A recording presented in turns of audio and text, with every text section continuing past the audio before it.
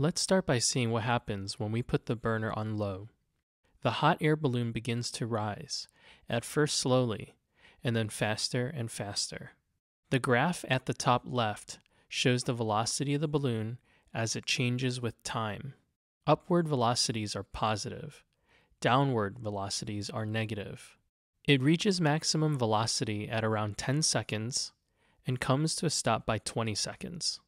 The acceleration of the hot air balloon is greatest when the slope of this graph is highest. The balloon is accelerating upward for the first 10 seconds, and then accelerating downward while still moving upward for the final 10 seconds.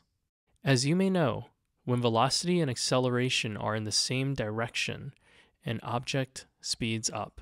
When they are in opposite directions, the object slows down. The position graph at right shows how high above the ground the balloon is at different times. The position of the balloon can never be negative. That would be beneath the ground. The slope of this position versus time graph is equal to the speed of the balloon. Notice that the slope starts out fairly flat and is greatest at 10 seconds when the velocity is greatest. Then the slope begins to decrease again to zero this represents the balloon slowing to a stop. Let's turn on the free body diagram for the balloon. Now we can see the forces acting on the balloon.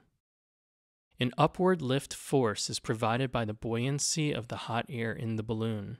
A downward gravitational force is provided by the weight of the balloon, the payload, and most importantly, the air in the balloon. When we heat the air in the balloon, its density decreases and the balloon weighs less. The lift force doesn't change much. After all, the balloon doesn't change size by very much, so it is still displacing the same volume of outside air. But since the weight is less, the lift force can exceed the weight. This is why the balloon rises when we add heat. The net or total force acting on the balloon is the lift force minus the weight. In other words, it is the amount by which the lift force exceeds the weight. If the net force is positive, pointing upwards, the balloon accelerates upward, as predicted by Newton's second law. If instead the net force is negative, meaning the weight is greater than the lift force, the balloon accelerates downward. Let's watch the lift force, weight force, and their difference, the net force as we add heat to the balloon. You'll see the net force vector is represented in gray. See it grow and shrink positively and negatively.